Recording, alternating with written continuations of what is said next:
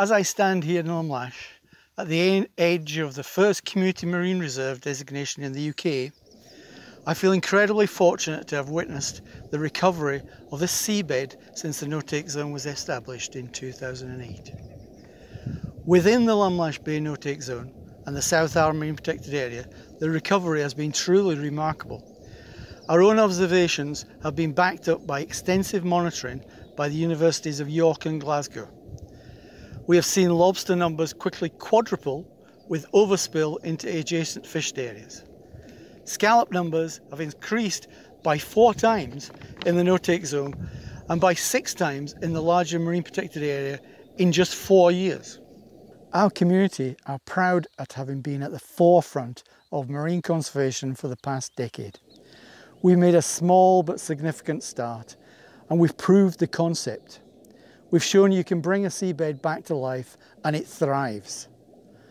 In a recent YouGov survey for the Scottish Government, over 80% of the public wanted government and businesses to do more to protect the marine environment. So now we look forward to seeing the rewilding of our seas at a scale. All that's needed is that we follow the science, educate the public and find the political will. We've proved it's doable. Here's to a bright future for our seas and all the people who depend on them.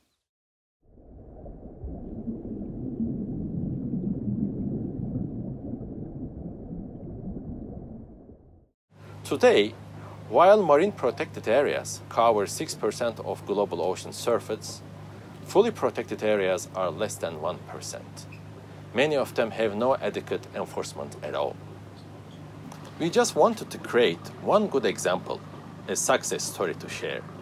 We protected a piece of ocean, and now rewilding sea has shifted the tides for both ecological conservation and livelihoods of local community that directly depends on marine resources. The spectacular tenfold increase in fish stocks in protected areas spilled over to the fishing grounds. And within five years, the income of local community members increased 400%. The health of ecosystem have improved. Big species, Mediterranean monk seal, sharks, and big fishes have returned. Majority of the community members believe that protected areas with proper management and proper enforcement are essential tools for managing marine resources. So why we don't want to save the oceans against unsustainable exploitation of marine resources and climate change impact? We are ready to replicate this all over the world. We just need to bring together all the stakeholders and make it happen. There is a huge potential to achieve something amazing, bringing the life back to oceans as it used to be.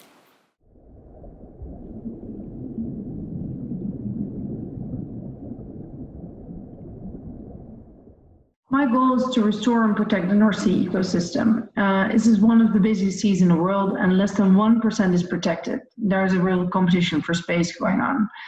I've been working on marine protected areas and sustainable fisheries for over a decade, and five years ago, we started to complement these strategies with active restoration or rewilding. We have projects to actively restore sharks and rays and oyster reefs in the Dutch North Sea.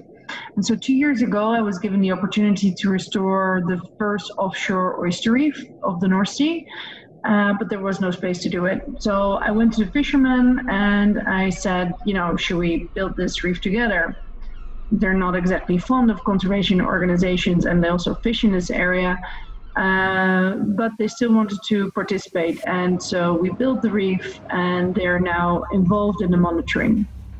And so, even though our relationship is difficult with regards to uh, marine protected areas, for example, building something together really created positive energy.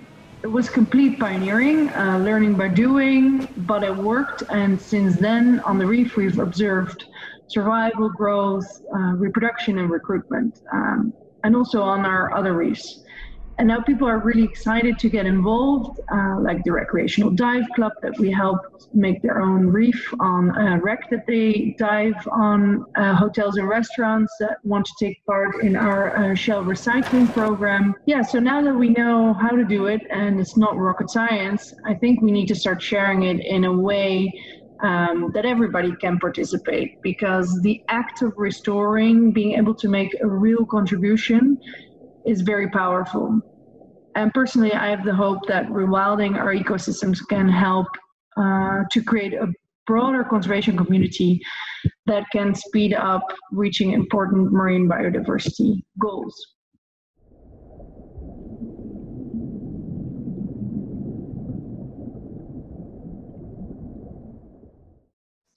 The inshore fisheries and conservation authorities have been reviewing their bylaws since their inception about 10 years ago.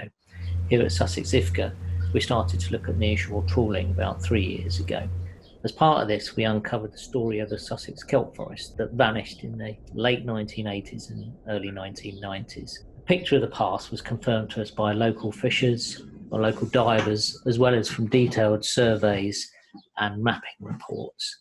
This became the basis of an ecosystem based approach for improving sustainable fisheries. We used the theory and language of natural capital and talked about essential fish habitats. We worked on the basis that the now extinct kelp forests of Sussex could be restored and once again become the ecological engine driving local sustainable fisheries. Because after all, you can't have fisheries unless you have fish. Additional benefits include carbon storage, biodiversity, water quality, coastal protection, and tourism. The proposal itself is to prohibit trawling along the West Sussex coast out to four kilometres, and in doing so, help restore over 170 kilometres squared of kelp. We have great community support with over 2,000 people supporting the proposed bylaw. We, of course, had expected resistance from the trawling interest. The proposed bylaw was created by the IFCA in January, and it now sits with the marine management organisations and DEFRA for final sign off by the Secretary of State. In summary, the mechanism to get this sort of progressive work done is already there. Where there is a will to do so, the status quo can be changed. This is about the art of the possible. You can create significant positive change in the sea around us that benefits the environment, the community, and the economy for the long term. And you can do that right now.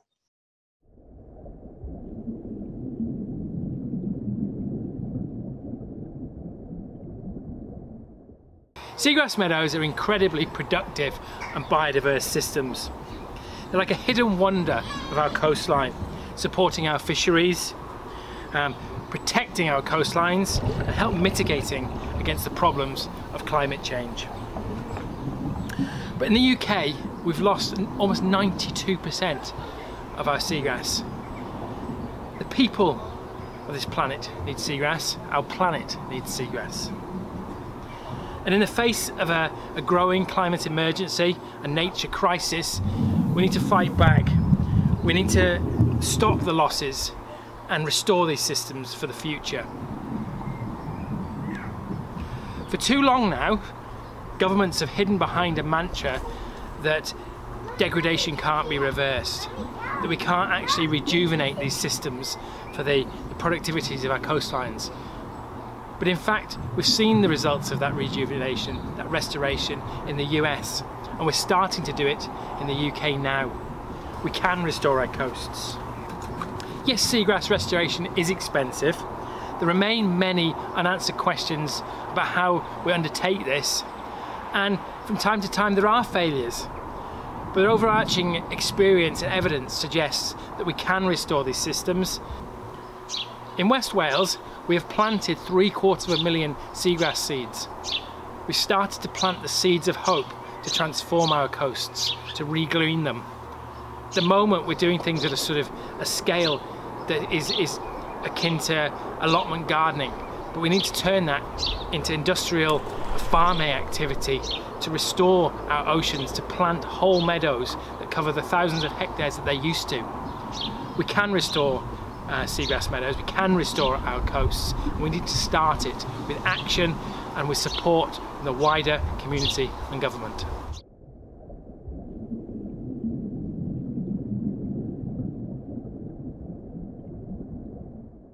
The Solent Oyster Restoration Project is restoring what was once Europe's largest and most productive native oyster fisheries. European flat oysters have been lost from 95% of their natural range, and England's south coast is no different. Since 2016, Blue has been working with partners across the Solent to restore this iconic species. We've developed an innovative nursery system that allows us to hold adult oysters and get them breeding again, releasing millions of larvae into the Solent whilst also attracting local biodiversity. These nurseries have provided a window into the marine environment by bringing the seafloor above the surface. And we've developed a schools outreach program to show the local community why it's not only important to protect their native oysters, but the marine environment in general. In order for oysters to have somewhere to settle and grow, we're also restoring the seabed by introducing millions of juvenile oysters and culch to recreate oyster reefs that have been lost. To meet the demands of our project, we're working with the University of Portsmouth to develop one of the UK's first restoration-focused native oyster hatcheries at the highest possible biosecurity standards. Despite some legislative challenges along the way, we have restored 69,000 oysters and released billions of larvae year on year from our nurseries. We are now in a position to scale up our project and achieve real change for the Solent's ecosystem.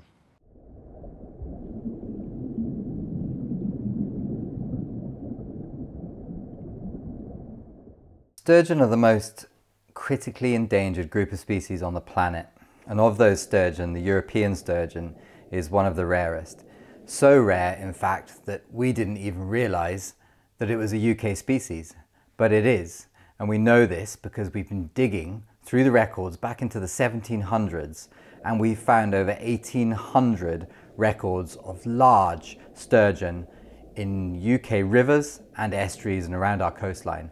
Blue Marine Foundation has formed the UK Sturgeon Alliance to restore populations of sturgeon in the UK. We're working closely with conservation partners in Spain and in France and in Germany who are doing similar projects. And actually, we're seeing fish, tagged fish, from those programs actually coming to explore UK waters to spawn. Now, sturgeon are a very fragile fish, and if we dam rivers, if we create weirs, if we uh, use gill nets in the estuaries, we can and we have wiped out these populations very, very quickly.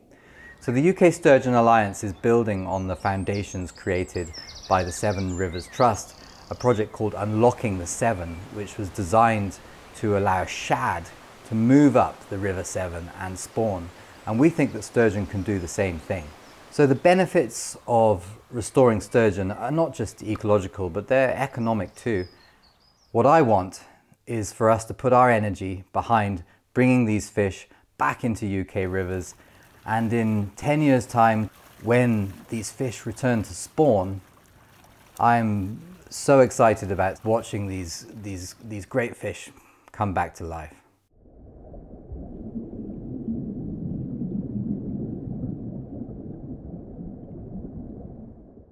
I'm standing on the salt marsh in North Wales.